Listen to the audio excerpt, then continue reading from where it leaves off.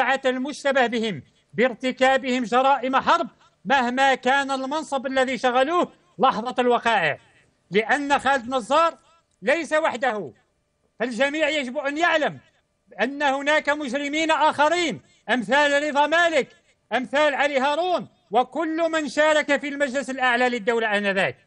فإذا كان خالد نزار ينفي هذه التهم فنقول له نحن هنا من الجزائر. وأبناء الجزائر ومن ولايته ومن أبناء ولاية باتنا نقول له من المسؤول العسكري الأول عن مقتل حوالي 500 ألف جزائري؟ إذا كنت تقول بأن الجماعات المسلحة هي التي قتلت 500 ألف إذا كانت ليس هناك دولة وليس هناك جيش وليس هناك عسكر وليس هناك وزارة دفاع فالذين جاءوا بعد الانقلاب على إرادة الشعب من هم الذين فتحوا المحتشدات يا خالد نصار أليس العسكر هو الذي كان يحرس المحتشدات أليس العسكر تحت وزارتك أنت من سجنت واعتقلت بغير ذنب؟ 25 ألف جزائري. من وراء اختطاف أكثر من 20 ألف جزائري. في حالة الطوارئ أثناء حالة الطوارئ التي كان يسيرها العسكر. لقد كنت وزيرا للدفاع وكنت المسؤول الأول في البلاد. وأنت الذي اعترفت في كتبك وتصريحاتك للقنوات بأنك فعلت ذلك لإنقاذ الجزائر. ها هي نتيجة إنقاذ الجزائر. عشرات الآلاف من العائلات شردتها في الداخل والخارج. الآلاف من الأمهات تركت أكبادهن تحترق بسبب فقدان أب أو زوج أو ابن مفقود. أليس هذا إجرام يا خالد نزار؟ أليس هذه جرائم حرب؟ يجب أن تحاسب عليها. نحن مع محاكمة هذا المجرم سواء في الداخل أو في الخارج. والحمد لله نحن نتكلم هنا من الداخل من ولايتك. وندعو كل المتضررين في الخارج من سياسة هذا الرجل خاصة الذين في الخارج أن يسارعوا لرفع قضايا في كل أوروبا في بلجيكا في إيطاليا في ألمانيا في لندن في أمريكا في كندا وما أكثر أبناء الشعب وأبناء الجبهة الإسلاميين قال في الخارج. وهذا ما قاله بنديكت محامي منظمة ريال مما قاله المحامي بالحرف الواحد في حصتكم قبل قليل أن كل واحد من الجزائريين المتضررين من سياسة هذا الرجل يستطيع أن يرفع قضية بخالد نزار.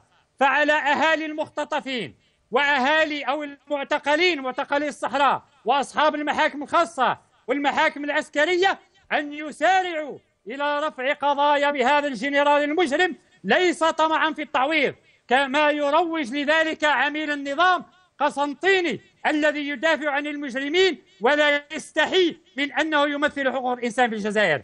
ولكن ليعلم إحنا هذا هذا العمل نعمله ليعلم كل مجرم وكل ظالم في الجزائر أنه لن يذهب بعيدا.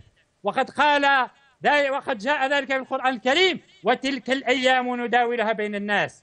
أين القذافي؟ أين مبارك وأبناء فراعنة مصر؟ أين بن علي؟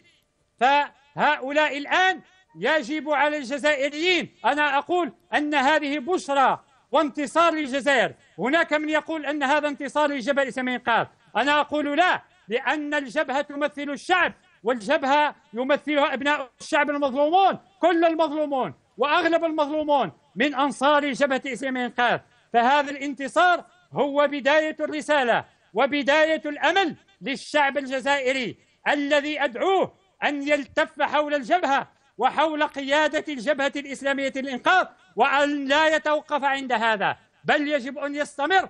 فهذا فهذا الأمر قد كشف هذا النظام وكشف أزلام هذا النظام المتبقين فعلى الشعب أن يستعد للتغيير أن يستعد للتحرك في هذا الدخول الاجتماعي ليزلزل الأقدام من تحت هؤلاء الظلمة من أمثال نزار ومن أمثال بوتفليقة ومن أمثال يحيى وغيرهم. فالشعب قادم والجبهة الإسلامية بقيادتها التاريخية وأكرر بقيادتها التي لم تبدل تبديلا. إذا كان هما يختبئوا يختبئون وراء المادة كما ذكر الأخ عثمان المادة اللي جات في قانون المصالحة المادة 46 تقول لا محاسبة لكل من شارك في هذه المأساة الوطنية. نعم لماذا تحاسبون وتمنعون عباس مدني وتمنعون الشيخ علي بالحاج من إنشاء حزب أو النشاط السياسي والنشاط والحق المدني؟ هم ممنوعون. لماذا تحاصرونهم؟ لماذا تحاصرون أنصار جبل إسماعيل قاد؟ لماذا تحاصرونهم سياسيا مدنيا؟ ممنوعون من النشاط السياسي ممنوعون من الترشح ممنوعون من كل شيء. حتى بعض العناصر أرادت تأسيس أو المشاركة في تأسيس أحزاب أخرى منعت بسبب انتمائها لجبل من قاد حلال عليكم حرام علينا. فسنتابعكم في الداخل والخارج. شكرا شكرا أخي جمال. أشكرك جزيل الشكر جمال. فقط لدي الكثير من المتصلين ينتظرون التدخل للإدلاء بدلوهم في مثل هذا الموضوع. إذا آه، كذلك أريد أن أتحفظ على بعض ما ورد في تدخلك. إذا مشاهدينا الكرام خالد نزار غير ما مر يتهرب من الأجوبة عن هذه الأسئلة المطروحة والتي تتابعه في آه، كل موضع تضعه أو تطأه قدماه. فحتى أنه في المقبرة لما حوسر من قبل هؤلاء الشباب وقالوا له نحن نريد المعرفة قال فكان يقول لهم لا لدي ليست لدي أي معلومات أخرى أريد أن أعطيها لكم. يجب أن تبحثوا في ما كتبت. ابحثوا في الكتب التي ألفتها. لقد كتبت عن كل شيء. هكذا كان يقول ولكن هم يمطرونه بمختلف الأسئلة ويقولون له ما الذي تسبب في أحداث أكتوبر؟ لماذا جابهتم المتظاهرين السلميين الآمنين في الشوارع وأخرجتم لهم الدبابات وقتلتم أكثر من 200 آه، جزائري؟ ثم بعد ذلك يقول لماذا رميتم بخيرة أبناء الجزائر في أتون أو في الغياهب السجون والمعتقلات في الصحارى في عين مقل وبرج عمر إدريس وغير ذلك؟ لماذا اختفى هؤلاء؟ أين ذهب؟ أين هو مصيرهم؟ فجوابه الوحيد هو ليس لدي ما أقوله. اذهبوا إلى كتبي لقد كتبت عن كل شيء وتجدون فيها الكثير من المعلومات. حتى أنه في مرة من المرات وهذا موجود في اليوتيوب أيضا أن عجوزا طيبة كانت تحاصره وتقول تسأله نفس السؤال فالتفت إليها وقال لها ما بالك أنت أيتها العجوز؟ في كل مرة ألتقي بك تلاحقينني في كل مكان ليست لدي معلومات ولا علم لي بابنك أين ذهب ولا أعرف مصيره. إذا مشاهدينا الكرام دائما نحن في هذا الملف نفتح هذا الملف دائما ونسمع لمختلف الشهادات. أحيل الكلمة الآن لأم أمين. تفضل أم أمين.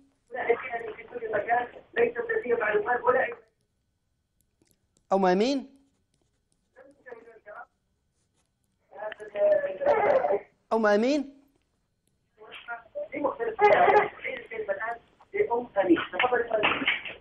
ألو؟ نعم أم أمين. تفضلي ساعه فطورك أم أمين. ألو؟ نعم. ألو.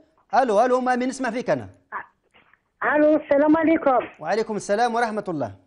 صح رمضان خويا عثمان. الله يسلمك وأنت أيضا ام امين الخليفه لكم الطاقم المغاربية. شكرا. تحياتي الخليفه للناس في المحجر شكرا. وفيما يخص الملف آه، ملف حساس. آه، باش نبداو يا خويا العزيز. وكان جا خير. خالد متزار راهم الوف كما هو. نبداو به. أكبر قتال في الجزائر هو اللي قتل كاع الشباب هو كاع اللي خطف ولاد الناس هو كاع اللي سجن ولاد الناس هو اللي يتم ولاد الناس. وراهي رايحة بين الدنيا واليوم يبين وجهه ويزيد يروح في قناة النهار. ورانا في الحلقة السادسة. بصح سؤالي متوجه اليوم مدير قناة النهار. أهل تراك عرضتوا الكولونيل الجنرال نزار لقناه النهار. والسؤال موجه كان للصحفي عرضوا خالد نزار. أيوه. ولا عندهم الجرأة يعيطوا عليه بالحد يجي يواجهوا يقعد معاه ويحضروا. يا أخي رانا جزائريين ما عندنا ما نخبوا على بعضنا بعض. الناس تعرف هذو ويعرفوا هو. يعرضوهم غير هما غير باش يساعدوهم لخاطر القناة تاعهم هما من هما إليهم. واليوم خالد نزار يقول لك j'ai rien fait je suis pas au courant dans mes livres. Qu'est-ce que vous avez dit? Il a rien dit. Il a tué tout le monde. هاك تشوف الحباس اليوم مازالهم معمرين. كان يقول لك ما درت والو. وين راهم الرجال اللي راهم مازالهم في الحباس كيفاش ما يتركوهمش لولادهم وين راهم ولادنا؟ كلاوهم بلعوهم. وفيد من غير هذا الشيء رفدوهم. في وقت ال couvre-feu la majorité des gens ils ont été kidnappés في الليل couvre-feu شكون اللي يخرج في ال couvre-feu يا خويا عثمان؟ حتى واحد ما يخرج. جاو أنا وليدي داوها 2 20 du matin يا شاب الجزائر اسمعوا شاني نهضر. و je sais pas وعام على بالهم الناس كامل تيك. ماشي واحد ماشي زوج ماشي ثلاثة. هادو كاع الناس كذبوا. واللي مقول لي التعويضات أنا وليدي je vends pas mon enfant. J'ai pas besoin des indemnités. Je veux la vérité. Je veux la libération immédiate et sans condition de nos enfants. كاملتي les papas les mamans اللي يضلوا يبكوا كل اربعه ويزيدوا يهضروا ويقابلوا عندهم وجه يقابلوا به عندهم شجاعه ما يحشموش ما عندهم ني يدير لي منا يا خويا فيهم ريحه اليهود هادو الفضله تاع فرنسا اللي مازالها تقتل فينا حبوا يقتلونا كامل يرضوا غير اللي يهضر يكونوا معاه وراهي رايحه بينا واش حسبوا في راحتهم لازم يتحاسب. وماشي غير هو. يتحاسبوا كاع اللي راهم كاينين. كاين تال كروزا تال كروزا وما نعرف واحد ولا زوج بالك. وقال لك يحضر ويقول أنا ما عندي والو ما خليت والو لولادي. كيف الشركة ديتهم البور ديتو. شكون اللي راه فاتح آه، شركة تاع الدواء ما ندير ولاد فات ماشي الجنرال العماري؟ هم يخدموا الناس عندها. ولا هذا يكذبوا عيناني ما يخافوا الله. ما يخافوا حتى واحد وقلت تهضر يقول لك إرهابيين. شكون الإرهابيين؟ اللي يقولوا لا إله إلا الله محمد رسول الله ولا إرهابيين؟ هذا راه نصلوا ونصموا وهما ماشي إرهابيين. هما الإرهاب الكبار. ويقولوا فيش إرهابيين. اللي لابس قميص إرهابي. اللي يصلي إرهابي. ويبعثوا غلام الله دوك يجي يطلب الزكاة في الجوامع باش يسرق هو وصحابه. هادو هما بلاد مسلمين. هادو جزائريين. يا عثمان خويا لازم يتحاسبوا هنا. ويرفدوا عليهم mandat d'arrêt international حتى بلاد ما تقبلهم. اللي يكون معاهم يكونوا معاه. اللي يكون معاهم يكونوا معاه. ورانا رايحين. قتلونا خويا مرضونا. نخافوا الله تعالى. وما عندناش بريزيدون ما عندناش رئيس. وعلاش كنا حنا نوضو نعيطو نقولوا يا رئيس بوتفليقه علاش خايف من الحقيقة؟ هو سي ان بيون يحطوه يرفدوه ويحطوه يحوس يعمروا في جيوبهم. أما فيما يخص Monsieur Xamtini, qui prétend être le président des droits de l'homme, on n'a pas de droits de l'homme en Algérie. هذاك جابوه تاع الشكاره هذاك يروح يدافع المنافقين كما هو والسراخين كما هو اللي يجيبوا الشكاره إحنا واش يدير بينا ما يوقفش معانا جامي يوقف معانا ولا حقوق الانسان ومازلنا نضربوا حقوق الانسان ومازالوا يردونا شنو يردونا وداونا سانك جيني كركرونا ويردونا هذه بلاد ويهدر قسنطيني ومزال. يروح يدافع غير اللي عندهم الشكارة. لا خاطر هو يحب الدراهم. أو يجري يدير كيما دار بارنسا باش يبعثوه أمباسادور كاش بلاد. ماشي يحوس على حقوق الإنسان. حقوق الإنسان يجيبوا الشعب. الشعب الجزائري يسمع لازم يخرج.